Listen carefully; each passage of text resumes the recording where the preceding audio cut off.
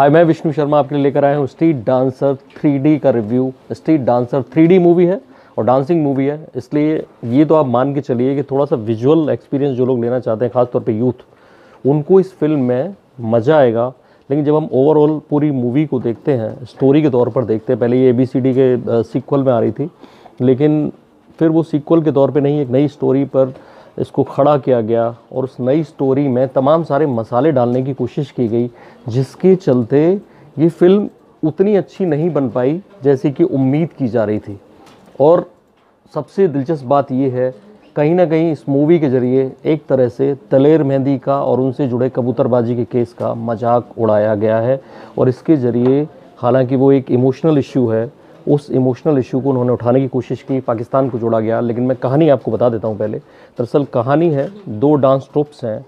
एक को लीड करते हैं वरुण धवन, जिनके पहले भाई डांसर थे और उनका पैर टूट गया। वो एक कंपटीशन नहीं जीत पाए। उस सपने को पूरा करने में वरुण धवन यानी सहज लगे हुए हैं। दूसरी तरफ़ एक लड़की है, इनायत श्रद्धा कपूर। वो पाकिस्तानी टोली की सदस्य है। ये सब लोग लंदन में रहते हैं और लंदन में भारत वर्सेस पाकिस्तान इन दो ट्रुप्स के ज़रिए होता है। एक स्ट्रीट डांसर जो इंडिया का ट्रुप है, डांस ट्रुप। दूसरा, रूल ब्रेकर्स जो पाकिस्तान का है, जिसे श्रद्धा कपूर लीड करती हैं। और ऐसे में तमाम सारे जो डांसर्स सर हैं, आप सबके फेवरेट, धर्मेश हैं, राघव जुएल हैं, पुनीत हैं, सलमान यूसुफ हैं सारे लोग फ़िल्म में दिखेंगे, लेकिन इनको उतना क्रेडिट नहीं जाएगा जितना श्रद्धा कपूर और जो कोशिश की गई है कि वरुण धवन को जाए, भले ही उनके उतने डांस मूव्स अच्छे ना हो। नोरा फतेही ज़रूर कमाल करती हैं और प्रभु देवा कमाल करते हैं। स्टोरी इन चारों के इर्द गिर्द घूमती है।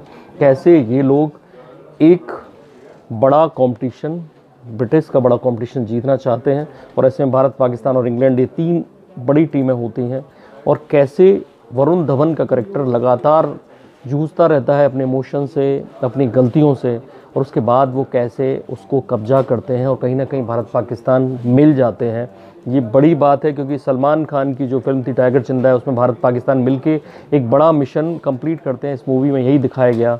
यहाँ सी का झगड़ा चल रहा है। वहाँ जो घुसपैठिए हैं, उनको लेकर ये मूवी खड़ी की गई है। इमोशनली भारत और पाकिस्तान के बीच की टसल और जो कबूतरबाजी होती है दोनों देशों से, उसको लेकर ये मूवी खड़ी की गई है। और ऐसे में फ़िल्म अगर देखा जाए तो सारे जो मसाले होते हैं वो डालने की कोशिश की जाती है। डांस से शुरू से लेकर एंड तक अगर आप दो घंटे डांस झेल सकते हैं तो वो जाइए, कुछ अच्छे गाने बन पड़े हैं। जितने भी बड़े फेवरेट हैं तनिष्क बागची हों, गुरु रंधावा हों, कई सारे लोग हैं जो इसमें जोड़े गए हैं। और ऐसे में कई गाने अच्छे बन पड़े हैं, लेकिन यूथ के मतलब के हैं। स्टोरी लगातार भटकती हुई नज़र आती है। कहा गया है कि किसी का दिल मत दुखाओ।